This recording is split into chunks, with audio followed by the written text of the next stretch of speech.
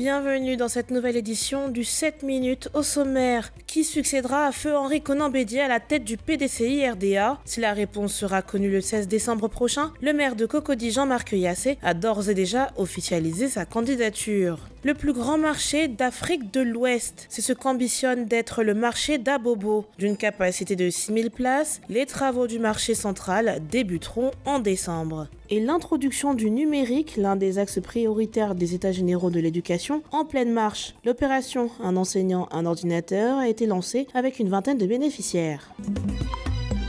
Jean-Marc Yassé ambitionne d'être le président du PDCI RDA. Il a officiellement annoncé sa candidature le lundi 13 novembre dans une lettre ouverte aux militants, cadres et anciens du parti. Lors du dépôt de son dossier de candidature, il a exprimé son profond attachement au parti et sa vision pour l'avenir du PDCI RDA.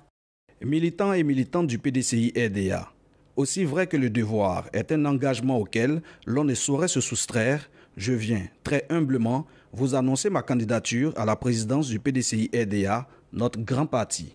Le 16 décembre 2023, le PDCI RDA va élire son nouveau président à l'occasion d'un congrès extraordinaire. Pour la réussite de cette rencontre, le président par intérim du parti, le professeur Philippe Copli, invite le bureau politique, le comité des sages, les délégués généraux et secrétaires généraux de section à se mettre à jour dans leur cotisation de l'année 2022 avant le mercredi 22 novembre 2023 à 18h, délai de rigueur. Une vingtaine d'enseignants membres du syndicat pour la revalorisation des personnels de l'enseignement secondaire de Côte d'Ivoire ont reçu leur équipement le 11 novembre dernier. Ils sont tous souscripteurs de l'opération Un enseignant, un ordinateur. L'opération est initiée par le CIRESI en collaboration avec la société Gétro Service spécialisée dans la production et la vente d'ordinateurs. Dont les enseignants sont les premiers, comme on dit, première, première, première, première catégorie à prendre au sérieux. C'est parti Gétro a décidé de lancer l'opération pour permettre aux Africains, pour permettre aux Ivoiriens d'avoir accès à l'outil informatique qui va leur permettre, si vous voulez, d'avoir accès aux technologies dites nouvelles et de faciliter le processus de digitalisation en cours. La remise des ordinateurs a été initiée pour encourager les enseignants encore sceptiques quant à la réalité de cette opération. En tant qu'organisation syndicale, nous sommes conscients de l'impérieuse nécessité d'avoir des membres compétents et bien formés pour assurer à notre pays et ses enfants une éducation de qualité en adéquation avec l'emploi afin de faire face aux défis de développement durable. Créé en 2014, le CIRESTI ambitionne d'œuvrer à l'amélioration des conditions de vie et de travail des personnels de l'enseignement secondaire de Côte d'Ivoire. Au moins 1500 bénéficiaires de l'enseignement secondaire sont escomptés dans ce projet. La commune d'Abobo continue de s'inscrire dans le train du développement de la Côte d'Ivoire. Le démarrage des travaux du grand marché prévu pour le mois de décembre 2023 a été annoncé par Kandia Kamara. La première magistrate de la commune a souligné que le nouveau marché, qui va être doté d'une capacité d'accueil de 6000 places, sera construit sur une superficie de 3,9 hectares pour un coût global de 56 milliards de francs CFA. Ce marché va changer.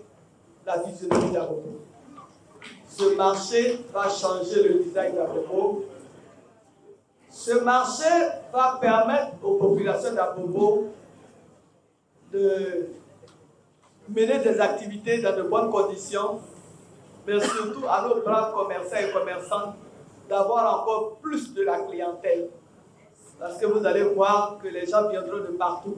Une nouvelle bien accueillie par le président des commerçants de la commune d'Abobo. Depuis 2017, ça c'est notre souhait. Parce que ça va impacter notre vie dans la commune d'Abobo et ça va permettre à évoluer les activités commerciales à Bobo.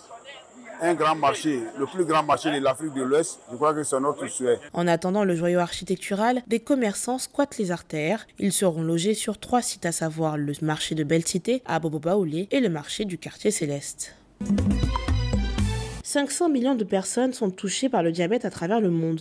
Cette pathologie se caractérise par un trouble de l'assimilation, de l'utilisation et du stockage des sucres. Mais comment reconnaître cet état? Il y a trois signes principaux qui nous aident à penser au diabète. La polyurie, la polyphagie et la polydipsie. C'est quoi la polyurie? C'est une envie fréquente d'uriner. La polyphagie, un appétit qui est très vorace.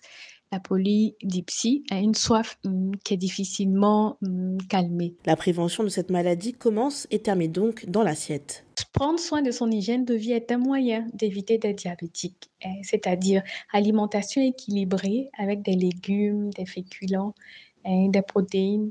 Les apports en féculents doivent être proportionnels hein, en fonction des, de l'âge et du besoin. Et une bonne hydratation et une activité physique régulière. Le choix du 14 novembre pour marquer la lutte contre le diabète n'est pas lié au hasard. En effet, c'est le jour de naissance de Frédéric Banting, prix Nobel de médecine pour sa découverte de l'insuline en 1921. PME, sécurisation et pérennisation de l'activité, tel est le thème de la deuxième masterclass de Sunu Assurance à l'occasion de la sixième édition du Salon de l'épargne, de l'investissement et du patrimoine. L'assurance homme clé se présente comme l'une des clés de pérennité et de sécurisation. L'une des clés, c'est euh, un produit d'assurance qu'on appelle euh, l'assurance homme clé qui permet justement de protéger euh, le, je dirais le fondateur, par exemple, de l'entreprise qui reste une personne essentielle au bon déroulement des opérations. Donc, pérennisation, c'est euh, conseil pour euh, investir, c'est également conseil pour protéger le business sur la longue durée et protéger ses responsables ou ses promoteurs. La participation de Sunio Assurance à ce salon a permis de mettre en avant son expertise dans le domaine de l'épargne et de l'assurance, mais aussi de partager des connaissances et des solutions innovantes et établir des relations avec des acteurs clés du secteur. C'est tout pour cette édition du 7 minutes. Merci de l'avoir suivi. L'actualité se poursuit sur cette info et cette info.ci.